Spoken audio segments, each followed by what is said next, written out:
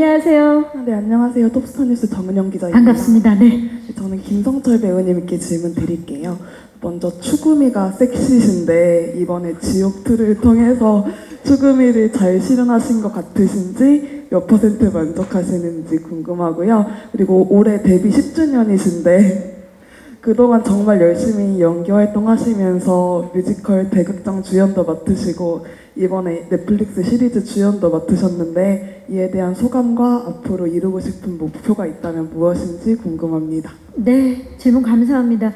자, 추구미가 섹시인데 이번에 그 추구미를 추구할 수 있었는지 먼저 질문.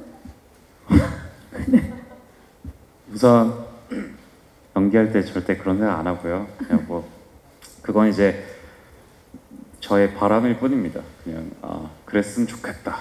그걸 뭐 염두에 두고 연기한 적은 정말 맹세코 단 한 번도 없고 앞으로 이제 커가면서 더 그런 걸 갖고 싶다라는 건 있고 그리고 음 뭐 일적으로는 뭐 10년이 너무 짧게 느껴져서 음. 뭐 앞으로도 더 긴 세월들 동안 건강하게 연기를 잘 하고 싶다라는 생각을 많이 하고 있고요.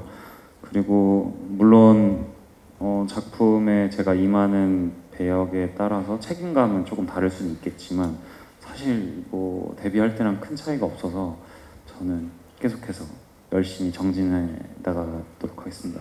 정진해 나가는 정진수. 어, 지금 라임이 척척인데요. 네, 예.